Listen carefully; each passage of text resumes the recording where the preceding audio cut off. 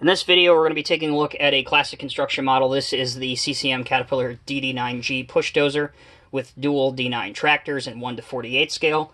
In this particular configuration, there were 250 of these made earlier this year.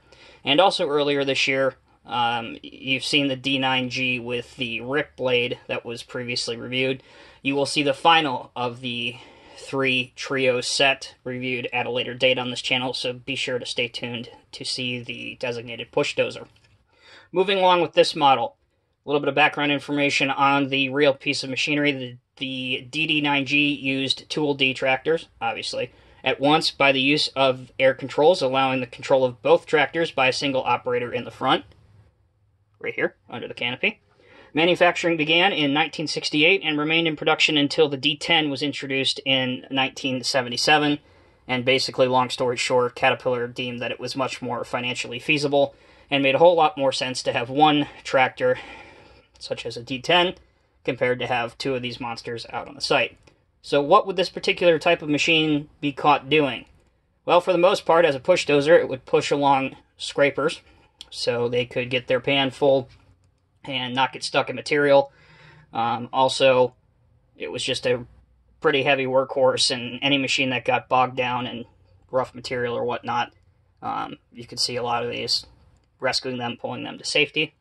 Onward with the model review, it does have the 9C push blade right here. You can see that it's very well replicated with a fine cutting edge and bolt detail. Again, the blade doesn't function that much because, of course, it would just be a cushion blade, meaning that this would just push the back part of a scraper. It's not primarily, it's not used to bulldoze material as a typical bulldozer would be used for. The tracks are metal and are individually linked. However, I would not recommend playing around with them too much, as they do seem very, very tight. However, they are transversely linked, and you can especially see this on the rear tractor, and they are spring-loaded as well. Uh, the controls, hydraulic lines, tanks, all that kind of stuff. The little details that you come to expect from CCM, of course, always do look phenomenal and always deliver.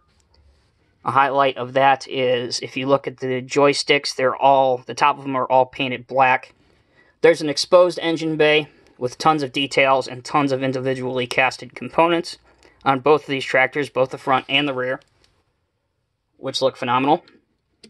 The front tractor has the 1960s slash 1970s old Caterpillar canopy over the operator's controls, which again are tough to see, but they are there right here and are very, very small, but look incredible.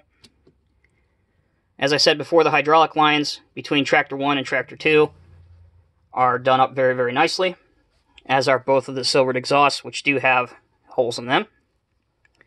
If we spin around the model to the rear, here you can see the back, where it has a tow hitch on it. And also over here you can you can see the uh, exhaust hole.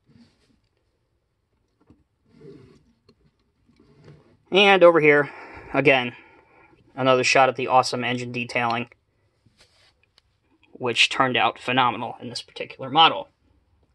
So, overall, this is an excellent model by CCM. As are most CCM models, this is what they refer to as a closed edition, meaning that you cannot purchase it from CCM anymore. Uh, it retailed for around $600 US. It is now considerably much more than that on the secondary market. So if you're ever into CCM models, or perhaps you check out their website and you see that there's a model coming up that you might be interested in, as a fellow collector, um, I would highly recommend that you put in a pre-order. That not only guarantees that you get one of these, but also you get it at a much more manageable price uh, before the people on eBay have a heyday with your wallet. So take that for what it's worth. As always, guys, thank you very much for watching. If you have any questions or perhaps something I didn't cover on this review, please feel free to leave it in the comment section below. As always, thank you for watching. Take care, be safe, and we'll see you in the next video.